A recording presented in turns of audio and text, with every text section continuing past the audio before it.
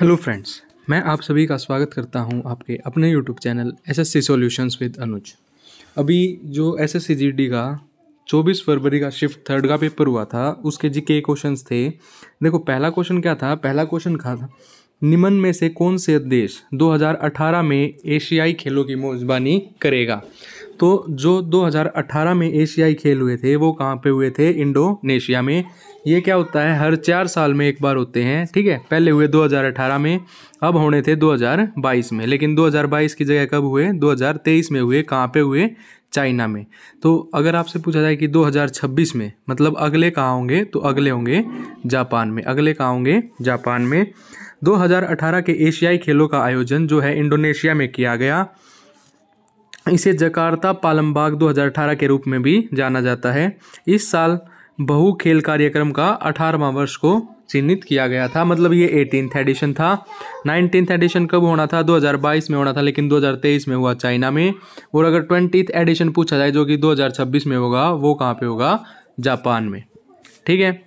उसके बाद अगला क्वेश्चन क्या आता है? अगला क्वेश्चन पूछा गया था कि पुष्कर मेला कहाँ आयोजित होता है? तो जो पुष्कर मेला है, वो कहाँ पे होता है? अजमेर में। पुष्कर मेला भारत के सबसे बड़े मवेशी ऊट मेलों में से एक है। पुष्कर मेले को पुष्कर ऊँट मेला या स्थानीय रूप से कार्तिक मेले के रूप में भी जाना जाता है। यह एक वार्षिक मेला है, जिसे कार्तिक मेला या पुष्कर नाम से भी जाना जाता है। ये आपको ध्यान रखना है। ठीक है? उसके बाद कुछ इम्पोर्टेंट मेले देख लेते हैं। अगर आपसे पूछा जाए, सोनपुर मेला तो कहाँ पे है? सोनपुर, बिहार में। हेमिस, गोम्पा मेला, लद्दाख, कोलकाता मेला या कपिल मुनि मेला, बीकानेर, राजस्थान, चंद्रभाग मेला, भुवनेश्वर, उड़ीसा और गंगा सागर मेला, बंगाल की खाड़ी, पश्चिम बंगाल। ठीक है भाई, उसके बाद एक क्वेश्चन बहुत आसान था ये कि चाइना की राजधानी क्या है? सबको पता है, बीजिंग, चाइना। ठीक है? उसके बाद था कि संपत्ति का अधिकार एक डैश अधिकार है। जो संपत्ति का अधिकार है, वो क्या है? एक कानूनी अधिकार है और जो ये संपत्ति के अधिकार को, जो फोर्टी फोर्थ संशोधन अधिनियम था अमेंडमेंट एक्ट था, उन्नीस सौ अठहत्तर का, उसमें इसको हटा दिया गया था। ठीक है, कौन सा आर्टिकल था ये? थर्टी फ़र्स्ट आर्टिकल था। तो संपत्ति के अधिकार को चवालीसवें संशोधन अधिनियम के द्वारा हटा दिया गया था, इसे डिलीट कर दिया गया था। इसे संविधान के भाग बारह के अनुच्छेद 301 के तहत कानूनी अधिकार बनाया गया है, इसलिए वर्तमान में केवल छः मौलिक अधिकार हैं। ठीक है? उसके बाद देखो, उसके बाद अगला क्वेश्चन था कि कुचिपुड़ी किस स्थान का प्रसिद्ध नृत्य है? तो कुचिपुड़ी है आंध्र प्रदेश का। देखो, भारतनाट्यम, तमिलनाडु, कुचिपुड़ी, आंध्र प्रदेश, उड़ीसा, उड़ीसी, मणिपुरी, मणिपुर। ठीक है? कथकली, केरला, मोहिनीअट्टम, केरला। ये पूछे जा रहे हैं, बार बार इनको याद कर लेना। उसके बाद पूछा गया है कि भारत संविधान अनुच्छेद एक सौ अड़सठ किससे संबंधित है? तो राज्यों के विधानमंडलों का गठन। अनुच्छेद एक सौ अड़सठ जो है, उसमें क्या बताया गया है? जो राज्यों के विधानसभाओं हैं, उनका गठन। अगर हम बात करें संसद की, पार्लियामेंट की तो वो है आर्टिकल 79 अगर मैं बात करूँ राज्यसभा की तो वो है आर्टिकल 80 राज्यसभा और लोकसभा की बात करें तो वो है आर्टिकल इक्यासी। ठीक है? ये ध्यान रखना है।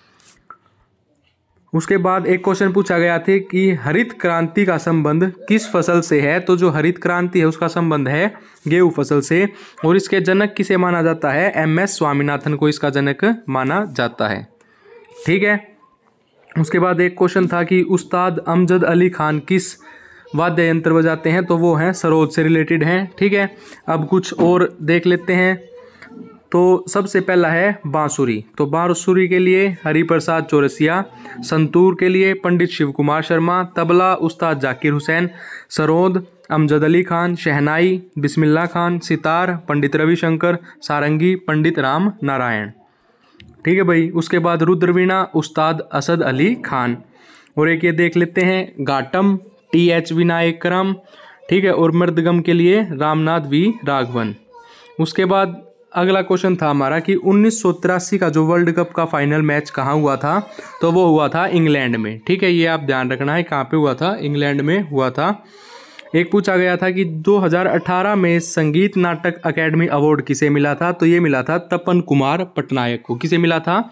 तपन कुमार पटनायक। भारतनाट्यम के लिए किसे मिला था? राधा श्रीधर। कथक के लिए इशरा। मौलिक साय के लिए मणिपुरी के लिए। अखम लक्ष्मी देवी। कुचिपुड़ी के लिए रामलिंगा शास्त्री। ठीक है, ये याद रख लेना कुछ नाम अपने। उसके बाद है लास्ट क्वेश्चन ये था कि महिला और पुरुष हॉकी के लिए कौन सा मंत्रालय कराता है? जो ये महिला और पुरुष का हॉकी चैंपियनशिप होती है, कौन सा मंत्रालय कराता है? युवा कार्य एंड खेल मंत्रालय। ठीक है भाई, ये क्वेश्चन थे जो आए थे। अगर आपको वीडियो अच्छी लगी हो तो वीडियो को लाइक करें चैनल को सब्सक्राइब करें। धन्यवाद।